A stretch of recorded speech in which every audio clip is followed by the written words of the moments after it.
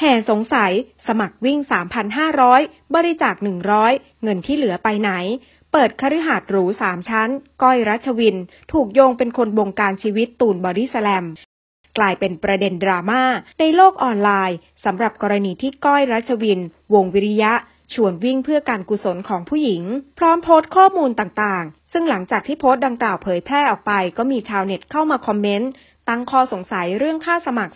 3,500 บาท แต่บริจาคเพียงแค่ 100 บาทเข้ามูลนิธิ รามาธิบดี แล้วเงินที่เหลือไปไหนกันแน่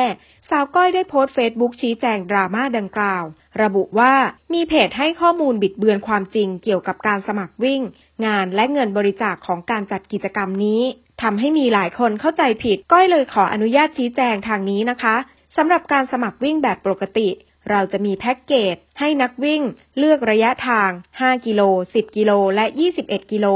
ราคาแต่ละระยะทางไม่เหมือนกัน และทุกๆหนึ่งการสมัครจะบริจาค 100 บาท ให้กับมูลนิธิรามาธิบดี เพื่อสมทบ และในส่วนของบัตรการกุศล ค่าสมัครทั้งหมด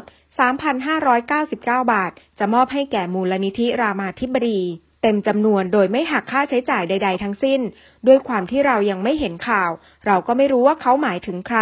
เรื่องจริงเป็นยังไงเราก็ไม่ทราบ ส่วนตัวก้อยเอง อย่างที่ทุกคนเห็นและรู้มาตลอด พี่ตูนเป็นยังไง ก็ยังคงเสมอต้นเสมอปลาย และไม่เคยได้ไปบงการอะไรเขาเลย เหมือนเราเป็นคนที่คอยอยู่ข้างๆ support เขามากกว่า ไม่ชอบบังคับใคร เพราะรู้สึกว่าการที่เขาเป็นแบบนี้มันดีอยู่แล้ว การที่จะไปบอกเขาว่าจะต้องเป็นแบบนี้ ก็แสดงว่าเราไม่ได้รักที่เขาเป็นเขาจริง ๆ อย่างไรก็ตาม เราไม่สามารถไปบังคับความคิดของใครได้ เอาเป็นว่ายังไงก็ขอเป็นกำลังใจให้สาวก้อยรัชวินด้วยนะคะ